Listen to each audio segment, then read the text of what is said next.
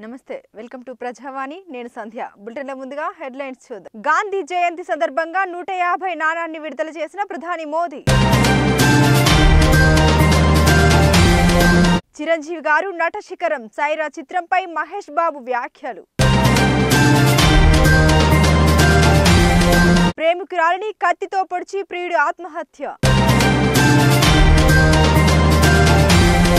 YCP social media విభాగంపై పోలీసులకు ఫిర్యాదు చేసిన వర్ల రామయ్య. ఢిల్లీలో జైషే ఉగ్రవాదులు దాడులు చేయవచ్చు. కచ్చులూరులో సుడిగుండాలు ఆపరేషన్ వశిష్ట పనులు నిలిపివేత. చిరంజీవి నటనకు మహేష్ ఫిదా. కేంద్ర మంత్రి పీయూష్ గోయల్ ఇంట్లో చోరీ. చిరుకి పుత్రోత్సాహం మామూలుగా లేదే. తెలంగాణలో సైకిల్కి మరో షాక్. రేపు ఏలూరులో సీఎం జగన్ పర్యటన. సైరా సినిమాను మొబైల్లో చిత్రీకరిస్తున్న వ్యక్తిపై చిరు అభిమానుల దాడి. తెలంగాణ ప్రభుత్వంతో ఆర్టీసీ సంఘాల చర్చలు విఫలం సమ్మె యథాతథం. చేతబడి అనుమానం వృద్ధుల పళ్ళు పీకి హింసించిన వైనం. టీడీపీకి గుడ్ బై చెప్పే యోచనలో విశాఖ జిల్లా సీనియర్ నేత తోట నగేష్. ఇక డీటెయిల్స్లోకి వెళ్తాం జాతిపిత మహాత్మా గాంధీ నూట యాభైవ జయంతి వేడుకల్లో ప్రధాని నరేంద్ర మోదీ పాల్గొన్నారు. గుజరాత్లోని అహ్మదాబాద్ సబర్మతి ఆశ్రమంలో గాంధీకి ఘన నివాళి అర్పించిన మోదీ ఈ సందర్భంగా నూట యాభై నాణాన్ని విడుదల చేశారు. అనంతరం ఆశ్రమంలోని సందర్శకుల పుస్తకంలో తన సందేశం రాశారు. గాంధీ కలలు కన్న స్వచ్ఛ భారత్ స్వప్నాన్ని సహకారం చేస్తున్నామని ప్రపంచమంతా గాంధీ జయంతి వేడుకలు జరుపుకుంటుందని తెలిపారు. గాంధీ జయంతి సందర్భంగా ఐక్యరాజ్య సమితి పోస్టల్ స్టాంపు విడుదల చేసిందని వెల్లడించారు. పారిశుద్ధ్య నిర్వహణ పర్యావరణ పరిరక్షణ అంటే గాంధీజీకి ఎంతో ఇష్టమైన వ్యాపకాలు అని వెల్లడించారు. భారత్ బహిరంగ మల విసర్జన దేశంగా మారినందుకు సంతోషంగా ఉందని తెలిపారు. గ్రామాలు బహిరంగ మల విసర్జన రహిత ప్రాంతాలుగా ప్రకటించనున్నాయని పేర్కొన్నారు. అరవై నెలల్లో అరవై కోట్ల మందికి శౌచాలయాలు అందుబాటులోకి తీసుకువచ్చామని మోదీ వివరించారు. మెగాస్టార్ చిరంజీవి కెరీర్లో మరో బ్లాక్ బోస్టర్గా నిలిచిపోయే చిత్రంగా విశేష స్పందన అందుకుంటున్న సైరా చిత్రంపై అగ్రహీరో మహేష్ బాబు వ్యాఖ్యానించారు. దృశ్య రూపరంగా సినిమా రిచ్గా అద్భుతంగా ఉందని చిరంజీవి గారి నటన శిఖర సమానం అని ట్విట్టర్లో స్పందించారు. సైరా తప్పక చేసిన సినిమా అని మహేష్ బాబు పేర్కొన్నారు. నిర్మాతగా వ్యవహరించిన రామ్ చరణ్ దర్శకుడు సురేందర్ రెడ్డితో పాటు చిత్ర యూనిట్ మొత్తానికి శుభాభినందనలు అంటూ ట్వీట్ చేశారు. తమ ప్రేమకు కటిఫ్ చెప్పాలనుకున్న యువతిని ప్రేమికుడు దారుణంగా పొడిచాడు. అనంతరం తన మణికట్టుపై గాయం చేసుకుని పదో అంతస్తు నుండి దూకి ఆత్మహత్య చేసుకున్నాడు. మహారాష్ట్రలోని కురార్ ప్రాంతంలో సోమవారం జరిగిన ఈ ఘటన ఆలస్యంగా వెలుగు చూసింది పోలీసుల కథనం ప్రకారం స్థానిక అంబేద్కర్ నగర్లోని ఎస్ఆర్ఏ బిల్డింగ్లో నివసిస్తున్న యువతి వద్దకు వెళ్ళి ప్రేమికుడు ఆమెతో కాసేపు ప్రేమగా మాట్లాడాడు. అనంతరం వెంట తీసుకెళ్ళిన కత్తితో ఆమెను పొడిచాడు. ఆపై తన మణికట్టును కోసుకుని పదో అంతస్తు నుండి దూకి ప్రాణాలు తీసుకున్నాడు. అప్రమత్తమైన స్థానికులు అపస్మారక స్థితిలో ఉన్న యువతిని ఆసుపత్రికి తరలించి పోలీసులకు సమాచారం అందించారు. ఏడాదిన్నరగా వీరిద్దరి మధ్య నడుస్తున్న ప్రేమ బంధానికి పుల్ స్టాప్ పెట్టాలని యువతి భావించింది. ఇదే విషయాన్ని యువకుడికి చెప్పడంతో అతడు ఈ దారుణానికి తెగబడినట్లు పోలీసులు పేర్కొన్నారు. కేసు నమోదు చేసుకున్న పోలీసులు దర్యాప్తు చేస్తున్నారు. టీడీపీ నేత Varla Ramaiah YCP social media విభాగంపై Guntur Arundelpet పోలీసులకు ఫిర్యాదు చేశారు. టీడీపీ అధినేత చంద్రబాబుతో పాటు మహిళా నేతల్ని కూడా కించపరుస్తున్నారంటూ వర్ల రామయ్య తన ఫిర్యాదులో ఆరోపించారు. సోషల్ మీడియా ద్వారా మానసిక క్షోభకు గురి చేస్తున్నారని తెలిపారు. ఈ వ్యవహారంలో పోలీసులు ఎలాంటి పక్షపాతం లేకుండా చర్యలు తీసుకోవాలని విజ్ఞప్తి చేశారు. ఇటీవల కాలంలో వైసీపీ టీడీపీ మధ్య సోషల్ మీడియాలో వార్ నడుస్తున్న సంగతి తెలిసిందే. ఇరు పార్టీల నేతలు పరస్పరం తీవ్ర స్థాయిలో విమర్శలు గుప్పించుకుంటున్నారు. దేశ రాజధాని నగరమైన ఢిల్లీలో పాక్ ప్రేరేపిత జైషే మహమ్మద్కు చెందిన నలుగురు ఉగ్రవాదులు వరుస దాడులకు పాల్పడే అవకాశం ఉందని కేంద్ర నిఘా వర్గాలు అందించిన సమాచారంతో ఢిల్లీ పోలీసులు అప్రమత్తమయ్యారు. ఇంటెలిజెన్స్ జారీ చేసిన హెచ్చరికల నేపథ్యంలో ఢిల్లీ నగరంలో సాయుధ పోలీసు బలగాలను మోహరించారు. ఢిల్లీ నగరంలోని పలు ప్రధాన ప్రాంతాల్లో సాయుధ పోలీసులు అనుమానం ఉన్న వారిని ఆకస్మిక తనిఖీలు చేపట్టారు. భారతదేశంలో ఆత్మాహుతి దాడులు చేసేందుకు పాకిస్తాన్ దేశం నుండి మన దేశంలోకి జైషే మహ్మద్. ఉగ్రవాదులు దళాలుగా ఏర్పడి వేర్వేరు ప్రాంతాలకు వచ్చారని కేంద్ర నిఘా విభాగానికి సమాచారం అందింది. ఇందులో భాగంగానే ఢిల్లీకి నలుగురు ఉగ్రవాదులు వచ్చారని వారు ఏ క్షణమైన దాడులు చేయవచ్చని నిఘా వర్గాలు చెబుతున్నాయి. బుధవారం జారీ అయిన హెచ్చరికలతో జమ్మూ కాశ్మీర్ అవంతిపూర్ పఠాన్కోట్ హిందన్ వైమానిక స్థావరాలతో పాటు దేశ రాజధాని నగరంలో కేంద్ర పారామిలిటరీ బలగాల జవాన్లు ఢిల్లీ పోలీసులు అలర్ట్ ప్రకటించారు. ముందు జాగ్రత్తగా ఢిల్లీ ప్రధాన ప్రాంతాల్లో పోలీసులు భారీ బందోబస్తు ఏర్పాటు చేశారు. కచ్లూరు గోదావరి ప్రమాదంలో మునిగిపోయిన రాయల్ వశిష్ట బోటును వెలికి తీయడం ఈ రోజు రోజుకు క్లిష్టంగా మారుతోంది. అక్టోబర్ రెండవ తేదీ బుధవారం కురిసిన భారీ వర్షంతో వెలికితీత పనులకు తీవ్ర ఆటంకం కలిగింది. అక్టోబర్ మూడవ తేదీ గురువారం నాలుగో రోజు పనులు ప్రారంభించాల్సి ఉన్న ధర్మాడి సత్య బృందం దేవీపట్నం దగ్గర ఆగిపోయింది. వరద తగ్గే వరకు కచ్లూరుకు వెళ్ళొద్దని అధికారులు సూచిస్తున్నారు. కచ్లూరులో సుడిగుండాలు ఎక్కువగా ఉండడంతో ఆపరేషన్ వశిష్ట నాలుగో రోజు కొనసాగించేందుకు అధికారులు అనుమతి నిరాకరించారు. మరోసారి ప్లాన్ టూ అమలు చేయాలని ధర్మాడి బృందం భావించింది. ఆపరేషన్లో యాంకర్ ద్వారా మరోసారి ప్రయత్నించడమే కాకుండా బోటు మునిగిన ప్రాంతంలో నదిని జల్లెడ పట్టాలని నిర్ణయించింది. మెగాస్టార్ చిరంజీవి నటించిన అత్యంత ప్రతిష్టాత్మక చిత్రం సైరా. సామాన్యుల నుండే కాకుండా సినీ ప్రముఖుల నుండి కూడా ప్రశంసలు అందుకుంటుంది. ముఖ్యంగా చిరంజీవి నటనకు అన్ని వైపుల నుండి ప్రశంసలు లభిస్తున్నాయి.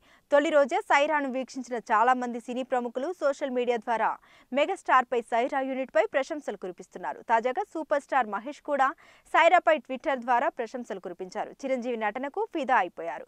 విజువల్స్ భారీతనం స్కేల్ అన్నింటినీ చిరంజీవి గారు తన అద్భుత నటనతో డామినేట్ చేశారు.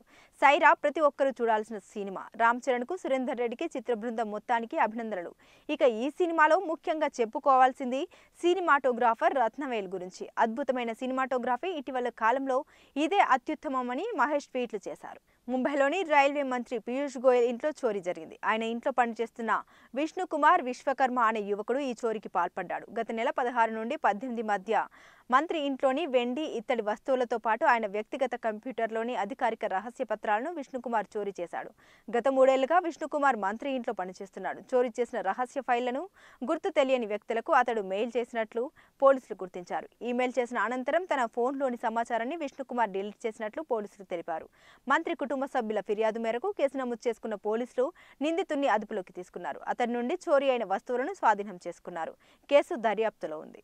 మెగాస్టార్ చిరంజీవి టాలీవుడ్లో ఇప్పటి వరకు నూట యాభై ఒక్క సినిమాల్లో నటించారు. వాస్తవానికి ఆయన నూట యాభైవ సినిమా ఖైదీ నెంబర్ వన్ ఫిఫ్టీకి ముందు పది సంవత్సరాలు రాజకీయాల్లోకి వెళ్ళి సినిమాలకు గుడ్ బై చెప్పారు. సొంత పార్టీ ప్రజారాజ్యం అప్పట్లో కాంగ్రెస్లో విలీనం చేసి యూపీఏ ప్రభుత్వం కేంద్ర మంత్రి బాధ్యతలు చేపట్టారు.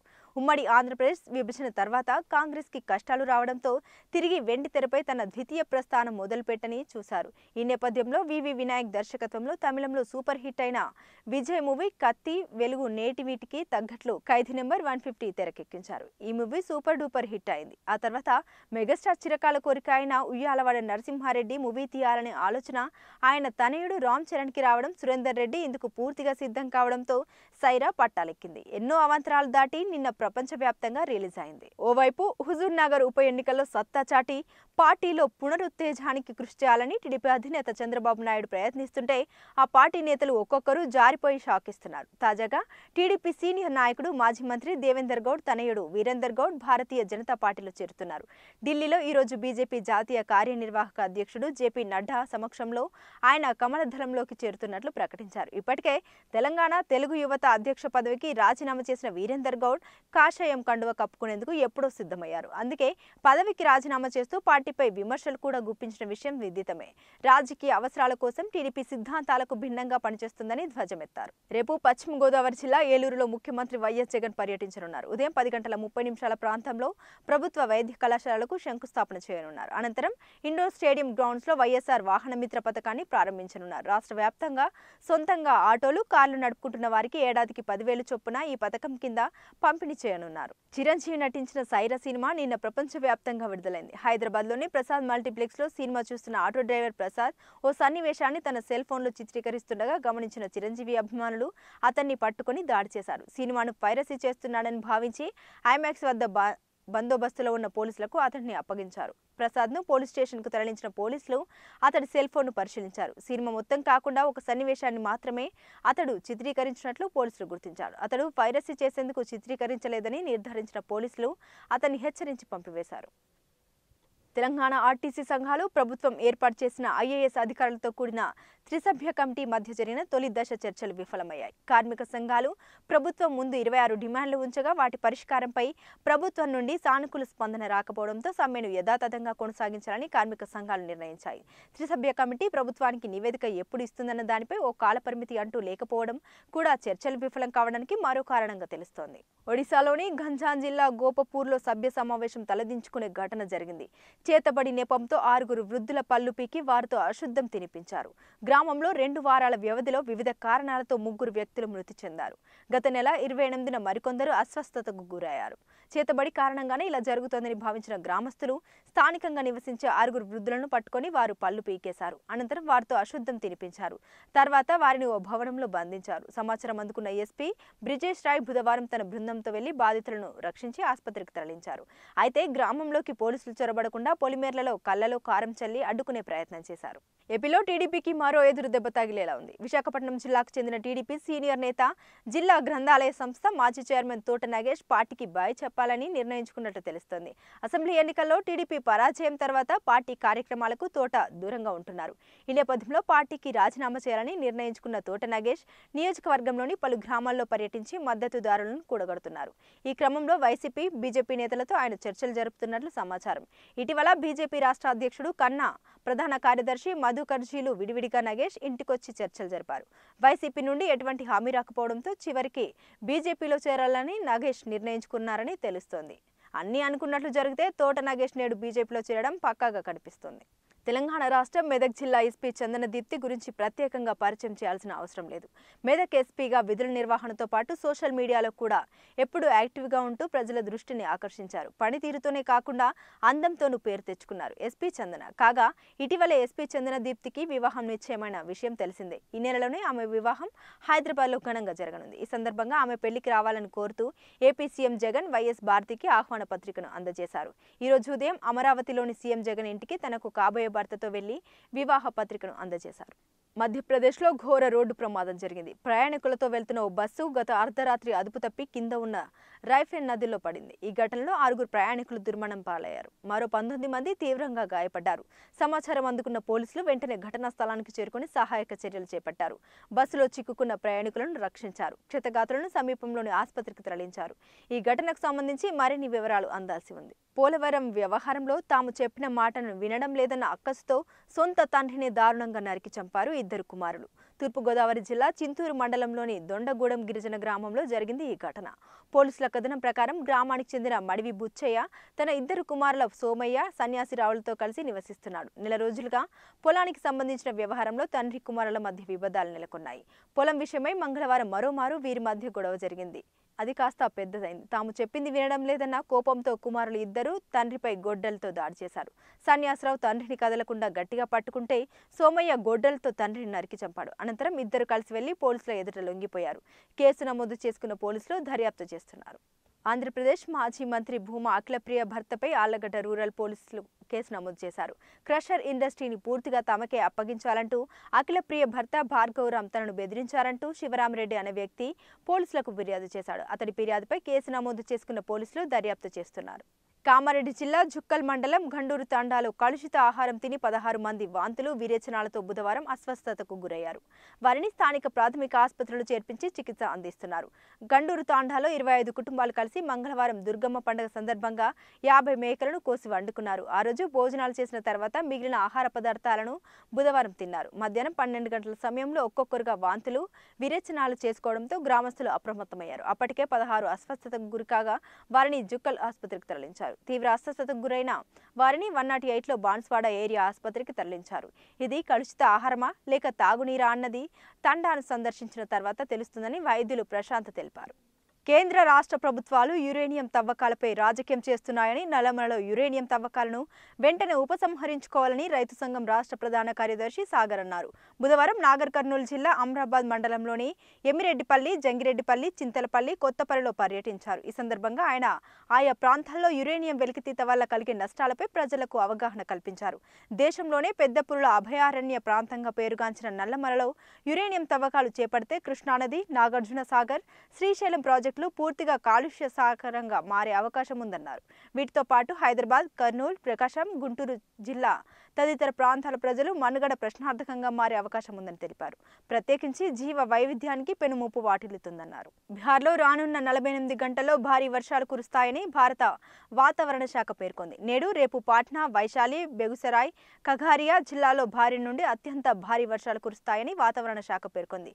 గత శుక్రవారం నుండి కురుస్తున్న భారీ వర్షాలతో రాష్ట్రాన్ని వరదలు ముంచెత్తాయి. ఈ వరదలకు ఇప్పటి వరకు డెబ్బై మూడు మంది మరణించారని రాష్ట్ర డిజాస్టర్ మేనేజ్మెంట్ విభాగం పేర్కొంది. కనీసం పదిహేడు పాయింట్ తొమ్మిది లక్షల మంది వరద తాకిడికి గురయ్యారని ఆ విభాగం తెలిపింది. కేవలం పాట్నాలోని పదివేల మందికి పైగా ప్రజలను ఎన్డీఆర్ఎఫ్ సిబ్బంది సురక్షిత ప్రాంతాలకు తరలించారు. లింగంపల్లి నుండి గుంటూరు మీదుగా తిరుపతి వెళ్ళే నారాయణాద్రి ఎక్స్ప్రెస్ రైలు వేళలను మారుస్తూ దక్షిణ మధ్య రైల్వే నిర్ణయం తీసుకుంది. ఈ నెల పదో తేదీ నుండి ఈ రైలు సాయంత్రం ఐదు గంటల ముప్పై నిమిషాలకు లింగంపల్లిలో బయలుదేరుతుందని సిపిఆర్ఓ రాకేష్ తెలిపారు. ఐదు గంటల యాభై నిమిషాలకు బేగంపేట ఆరు గంటల పదిహేను నిమిషాలకు సికింద్రాబాద్ చేరుకుంటుందని పేర్కొన్నారు. బీబీనగర్ ఆరు గంటల నలభై తొమ్మిది నిమిషాలు ఏడు గంటల ముప్పై నిమిషాలకు రామన్నపేట ఏడు గంటల నలభై నిమిషాలకు చిట్యాల ఎనిమిది గంటలకు నల్గొండ చేరుకునే రైలు తొమ్మిది గంటల నలభై ఏడు నిమిషాలకు సత్తెనపల్లి పదకొండు గంటలకు గుంటూరు చేరుకుంటుంది. మరుసటి రోజు ఉదయం ఆరు గంటలకు తిరుపతి చేరుకుంటుందని వివరించారు. ఈ నెల పదో తేదీ నుండే ఈ వేళలు అమల్లోకి వస్తాయని ప్రయాణికులు గుర్తించాలని కోరారు. మెగా ఇంజనీరింగ్ సంస్థ అధినేత కృష్ణారెడ్డిపై సినీ నటుడు శివాజీ తీవ్ర వ్యాఖ్యలు చేశారు. ఆయన ఒక మిత్రద్రోహి అంటూ మండిపడ్డారు. ఆయన అక్రమాలకు సంబంధించిన నిజాలను ఆధారాలతో సహా బయటపెడతానని తెలిపారు. ఈ విషయాలను మీడియా ద్వారా బయటపెడదామని తాను అనుకున్నానని అయితే వాటిని ప్రసారం చేసే దమ్ము దేశంలోనూ ఏ మీడియాకు లేదని తెలిపారు. ప్రాజెక్టుల పేరుతో ప్రజాధనాన్ని దోచుకొని వాటిని ముఖ్యమంత్రులతో పంచుకోవడం దేశద్రోహమని అన్నారు. ప్రాజెక్టుల రీడిజైనింగ్ రీటెండరింగ్ పేరుతో సీఎంలు కాంట్రాక్టర్లు ప్రజాధనాన్ని దోచుకోవడం దారుణమని తెలిపారు. ప్రభుత్వాలు ఇచ్చే సబ్సిడీతో బస్సులను కొని వాటి ద్వారా వచ్చే ఆదాయాన్ని జేబుల్లోకి వేసుకోవడం అతిపెద్ద నేరమని అన్నారు. వరదల్లో చిక్కుకొని నానా ఇబ్బందులు పడుతున్న బాధితులను పరామర్శించి వారి క్షేమ సమాచారాలను తెలుసుకునేందుకు బయలుదేరిన ఎంపీ తానే బాధితుడయ్యారు. బోట్లో ప్రయాణిస్తూ నదిలోకి జారిపోయారు. స్థానికులు అప్రమత్తమై రక్షించడంతో ప్రాణాపాయం తప్పింది. వివరాల్లోకి వెళ్తే బీహార్ రాష్ట్రం పాటలీపుత్ర ప్రాంతం ప్రస్తుతం వరద బీభత్సంతో అతలకుతలమవుతుంది. తన నియోజకవర్గ పరిధిలోని బాధితులను పరామర్శించేందుకు కేంద్ర మాజీ మంత్రి స్థానిక ఎంపీ రామ్ కృపాల్ యాదవ్ ట్యూబ్లతో రూపొందించిన బోట్లో బయలుదేరారు. ధనురువ గ్రామ బాధితులను పరామర్శించేందుకు బుధవారం రాత్రి వెళ్ళేందుకు సిద్ధమయ్యారు. నదికి ఆవలకట్టున గ్రామం ఉండడం ఆ సమయానికి బోటు ఏది అందుబాటులో లేకపోవడంతో గ్రామస్తులు నది దాటేందుకు ఉపయోగించే టైర్ల ట్యూబ్తో రూపొందించిన పడవపై ప్రయాణానికి సిద్ధమయ్యారు. ఆయనతో పాటు మరికొందరు ఆ బోటు ఎక్కారు. కేంద్ర మాజీ మంత్రి పి. చిదంబరం నుండి నేడు కోర్టులో హాజరుపరచనున్నారు. ఐఎన్ఎక్స్ మీడియా కేసులో సిబిఐను అరెస్టు చేసిన విషయం విదితమే. ప్రస్తుతం తిహార్ జైల్లో ఉన్న చిదంబరం జ్యుడిషియల్ కస్టడీ నేటితో ముగియనుండడంతో ఆయన్ను కోర్టులో హాజరుపరచనున్నారు. జైల్లో ఉన్న తనకు ఇంటి నుండి ఆహారం తెప్పించుకునే సౌలభ్యాన్ని కలుగజేయాలంటూ చిదంబరం దాఖలు చేసిన దరఖాస్తుపై కూడా నేడు కోర్టులో విచారణ జరగనుంది. కచ్లూరు గోదావరిలో మునిగిపోయిన బోటును తీసేదాకా తాను ధరించిన డ్రెస్ని తీయనని మత్స్యకారుడు శివ వెల్లడిస్తున్నాడు. గోదావరి వరద ఉధృతిగా ప్రవహిస్తుండడం సుడిగుండాలు ఉండడంతో అధికారులు ఆపరేషన్కు అనుమతి ఇవ్వలేదు. దీంతో సత్యం బృందం దేవీపట్నం వద్దే ఆగిపోయింది. ధర్మాడి సత్యం బృందం నిర్వహిస్తున్న ఈ ఆపరేషన్లో పశ్చిమ గోదావరి జిల్లాకు చెందిన శివ మత్స్యకారుడు పాల్గొన్నాడు. ఈ సందర్భంగా ఆపరేషన్కు సంబంధించిన వివరాలను టెన్ టీవీ అడిగి తెలుసుకుంది. సుడిగుండాలు బాగా ఉంటాయని బోటు వెలికి తీసే అవకాశం లేదన్నారు. తూర్పుగోదావరి జిల్లా ఆలమూరు మండలం మడికి జాతీయ రహదారిపై గురువారం తెల్లవారుజామున ఘోర రోడ్డు ప్రమాదం జరిగింది. జాతీయ రహదారిపై వెళ్తున్న కారు ఆగి ఉన్న లారీని ఢీకొట్టింది. ఒక ప్రమాదంలో ఒకరు మృతి చెందగా చిన్నారితో సహా ఐదుగురికి తీవ్ర గాయాలైనట్లు హైవే పెట్రోలింగ్ సిబ్బంది తెలిపారు. వారు తెలిపిన వివరాల ప్రకారం పశ్చిమ గోదావరి జిల్లా పెనుమంట్ర మండలం మామిడూరు గ్రామానికి చెందిన చరుమూరి రామస్వామి సూర్యపార్వతి సురేష్ సునీత కారుణ్య రమ ఒకే కుటుంబ సభ్యులు మారుతి జెన్ కారులో పెద్దాపురం శుభకార్యంలో పాల్గొని రావుపాలెం వైపు వస్తుండగా మడికి పెట్రోల్ బంక్ సమీపంలో ఆగి ఉన్న లారీని ఢీకొట్టింది ఈ ఘటనలో తండ్రి కారులోనే మృతి చెందాడు. డ్రైవింగ్ చేస్తున్న అతని కుమారుడు కోడలు భార్యతో పాటు మరో చిన్నారి అతని సోదరుని కుమార్తెలకు తీవ్ర గాయాలయ్యాయి. దేశీయ స్టాక్ మార్కెట్లు ఈ రోజు నష్టాలతో ట్రేడింగ్ను ప్రారంభించాయి. ఉదయం తొమ్మిది గంటల నలభై ఒక్క నిమిషం సమయంలో సెన్సెక్ నూట అరవై ఎనిమిది పాయింట్లు నష్టపోయి ముప్పై ఎనిమిది వేల నూట నలభై మూడు వద్ద నిఫ్టీ యాభై రెండు పాయింట్లు నష్టపోయి పదకొండు వేల మూడు వందల ఏడు వద్ద ట్రేడ్ అవుతున్నాయి. దక్షిణాఫ్రికాతో జరుగుతున్న తొలి టెస్ట్లో భారత్ మొదటి వికెట్ కోల్పోయింది. మహారాష్ట్ర బౌలింగ్లో సిక్సర్ బౌండరీ బాదిన రోహిత్ శర్మ నూట డెబ్బై ఆరు రెండు వందల నలభై నాలుగు బంతుల్లో ఇరవై మూడు ఫోర్లు ఆరు సిక్సర్లు ఆ తర్వాతి బంతికే అవుట్ అయ్యాడు. ఫ్రంట్ ఫుట్లో భారీ షాట్ ఆడడానికి ప్రయత్నించిన రోహిత్ను wicket keeper de Kock stump out చేశాడు. దీంతో టీమిండియా మూడు వందల పదిహేడు పరుగుల వద్ద తొలి వికెట్ను కోల్పోయింది. టెస్టులో రోహిత్కి ఇదే అత్యుత్తమ స్కోరు. అవతల ఎండ్లో ఉన్న మయాంక్ అగర్వాల్ నిలకడగా ఆడుతున్నాడు. దక్షిణాఫ్రికాపై అత్యధిక పరుగుల భాగస్వామ్యం నెలకొల్చిన జోడీగా మయాంక్ రోహిత్ రికార్డు సృష్టించారు. సఫారీలపై ఏ వికెట్కైనా ఇదే అత్యుత్తమ భాగస్వామ్యం. ప్రస్తుతం భారత్ వికెట్ నష్టానికి మూడు వందల పదిహేడు పరుగులు చేసింది. క్రేజ్లోకి పుజారా వచ్చాడు. తమిళనాడు తిరుచిలోని లలిత జ్యువెలరీలో నిన్న రాత్రి భారీ చోరీ జరిగింది. ఇద్దరు దొంగలు లలిత జ్యువెలరీ షాప్ వెనుక భాగంలో గోడను పగలగొట్టి కోట్ల రూపాయలను విలువ చేసే బంగారాన్ని వజ్రాలను దోచుకుపోయారు. దీంతో పోలీసులు రహస్యంగా విచారణ చేస్తున్నారు. అయితే ఈ న్యూస్ బయటకు వచ్చి నిన్నటి నుండి సోషల్ మీడియాలో తెగ వైరల్ అవుతుంది.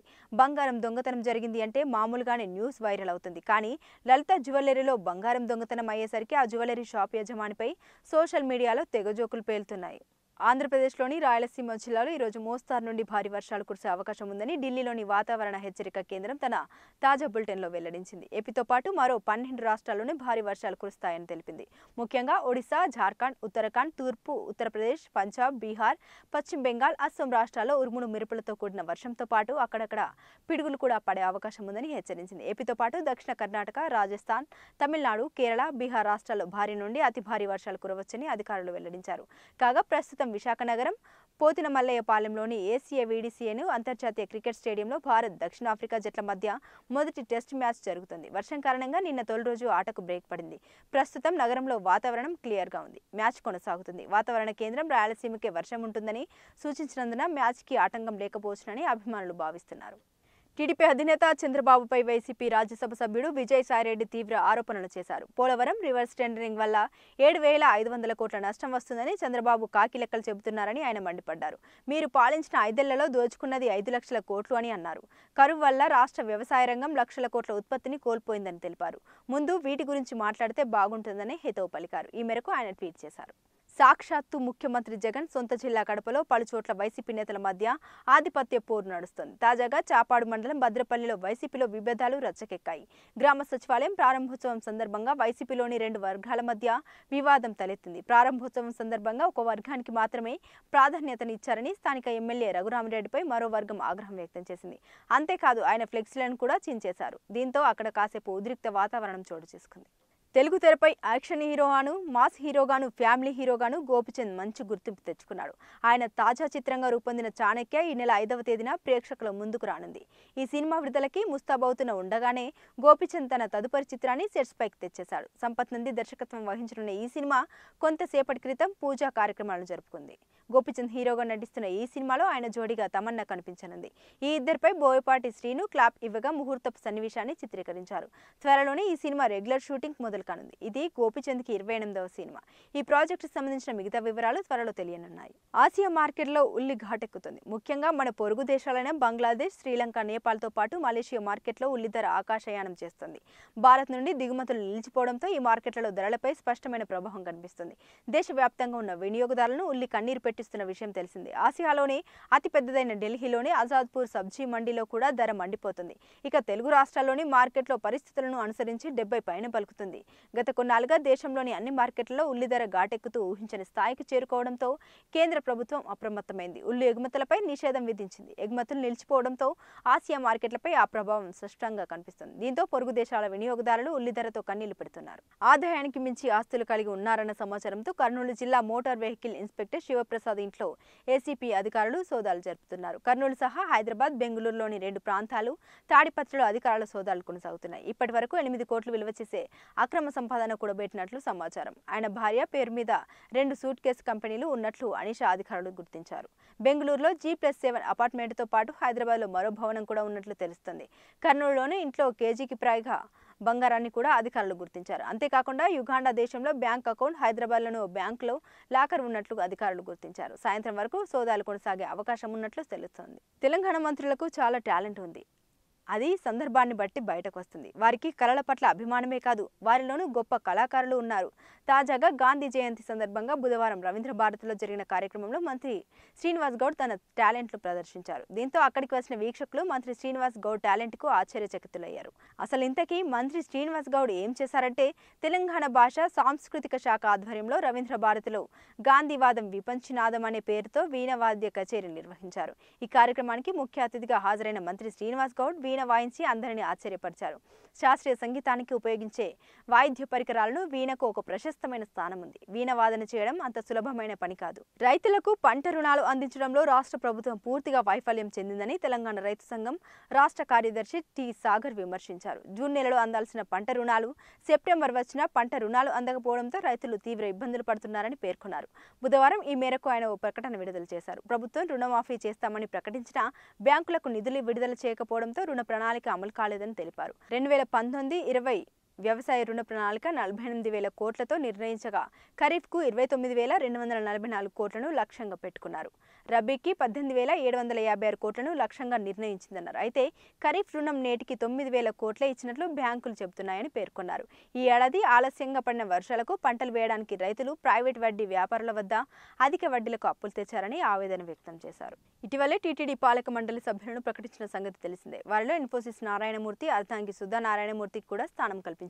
ఈ నేపథ్యంలో ఆమె ఇవాళ టీటీడీ బోర్డు సభ్యురాలిగా ప్రమాణ స్వీకారం చేశారు. ఈ కార్యక్రమానికి టీటీడీ చైర్మన్ వైవి సుబ్బారెడ్డితో పాటు ఇన్ఫోసిస్ వ్యవస్థాపకుడు నారాయణమూర్తి కూడా హాజరయ్యారు. చైర్మన్తో పాటు ఇరవై నాలుగు మంది సాధారణ సభ్యులు నలుగురు ఎక్స్ అఫిషియో సభ్యులతో టీటీడీ జంపు పాలకవర్గం పూర్తి స్థాయిలో కొలువుదీరింది. తెలుగు రాష్ట్రాల నుండే కాక వివిధ రంగాలకు చెందిన ప్రముఖులను కూడా టీటీడీ బోర్డులోకి తీసుకున్నారు. ఇవి బులెటిన్ అప్డేట్స్. మరిన్ని అప్డేట్స్ కోసం చూస్తూనే ఉండండి. ప్రజావాణి.